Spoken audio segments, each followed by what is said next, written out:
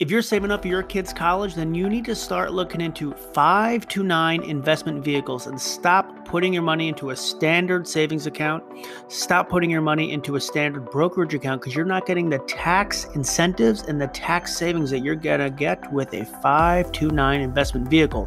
They are built specifically for people who are saving up and investing for college. There's three huge benefits you get. First, your contributions to this vehicle is going to be tax deductible, most likely in the state that you're in.